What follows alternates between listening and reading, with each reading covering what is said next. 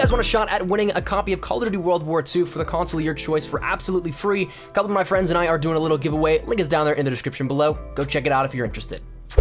With it only being less than four weeks away from the launch of Call of Duty World War II, I'm sure a lot of you guys are highly anticipating getting your hands on your copy, grinding out the game and everything like that. And while the beta has provided a little bit of a teaser and kind of wet the whistle for what we can anticipate and what we can look forward to with the full launch, it is something where, of course, it's totally natural to only want more. So with that said, in the anticipation here, building up to the full launch, we're gonna give you guys a little bit of a list, maybe perhaps if you wanna consider it, that's of weapons that I think are the most reliable so that whenever the launch of World War II happens, you can jump right into the game, pick out those weapons, and totally dominate. So that said, these weapons are gonna stem not only from the betas that we had the last couple of weeks on PlayStation 4, Xbox One, and PC, but we're also gonna take a look at some other isolated incidents in where I got to play Call of Duty World War II, such as at E3 where it was a little bit more of a private event. It wasn't open entirely to everybody in the world. Yes, it was a public event, but at that event, we got some weapons that we didn't didn't actually see in the betas, that including both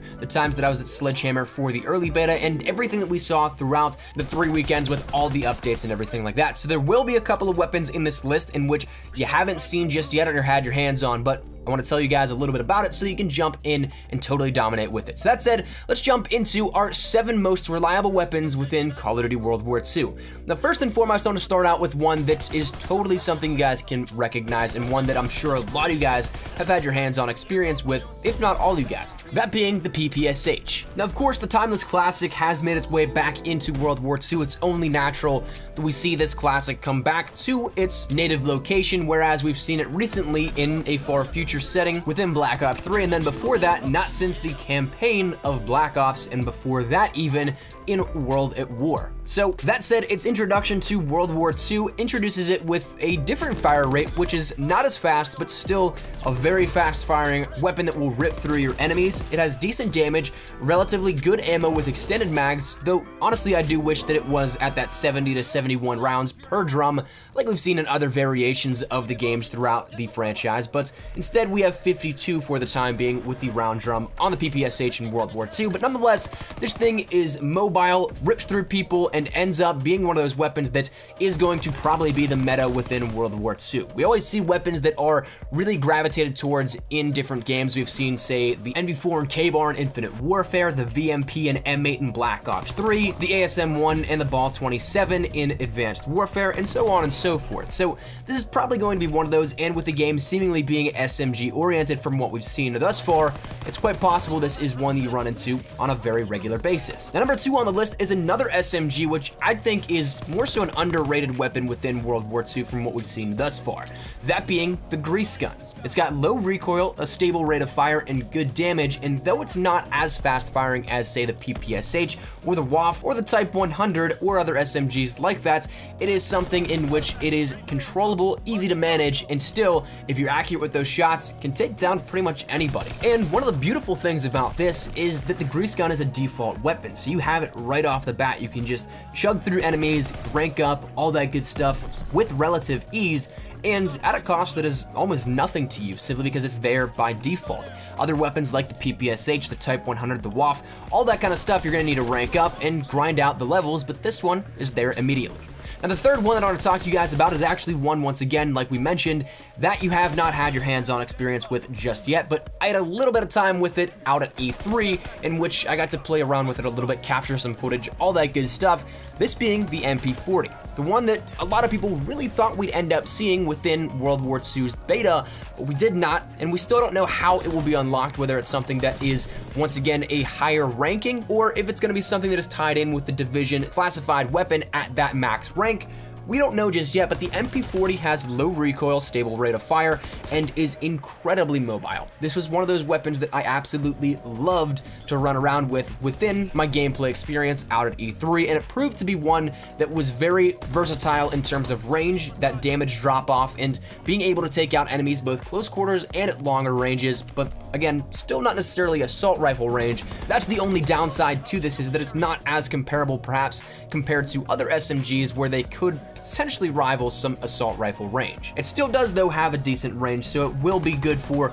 the majority of medium-sized maps as well as the smaller. And number four is going to be the final SMG in which we'll talk about here at this one, though of course one could totally argue that all the SMGs that we saw thus far are very much so contenders for some of the most reliable weapons, but this one we're going to be talking about is the M1928 or the Thompson. Now, we've talked about this in depth many times here across the channel, both in design aspects, design quirks, all that kind of stuff, but when you break it down, it really comes down to being a great weapon. It's one of the more faster firing SMGs within World War II, and of course that allows you to rip through enemies at close quarters. Now, of course, the magazine with extended mags is definitely where I'd like to go with this in terms of it. I don't necessarily like the stick mags. I ended up running out of ammo a little bit too fast for my own comfort, but nonetheless, that really comes down to personal preference and personal play. But if you want a very solid and very viable option for close quarters play, and of course, maybe even some medium range engagements as well, the M1928 is a surefire weapon here to go for it. Now, of course,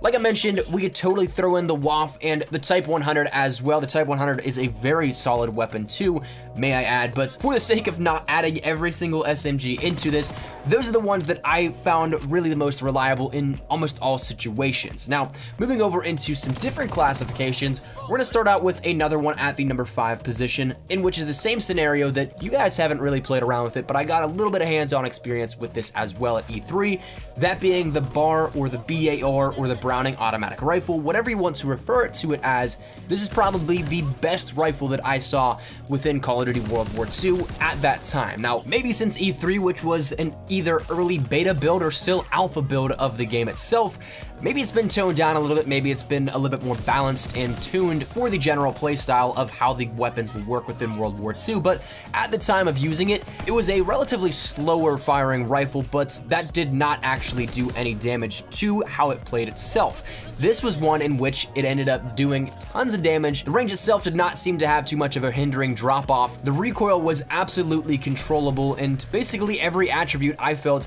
played very well into how the weapon itself acted in gameplay experiences. It was one that even rivaled some SMGs in close quarters encounters, and that's something that's with a rifle you know is not necessarily the best attribute for it. So to be able to rival in those situations is great. It just felt to me like one of the most overall versatile weapons within World War II. Now, without carrying too much on about it, we're gonna go over to another rifle, that being one that you definitely have played around with, that being the STG-44.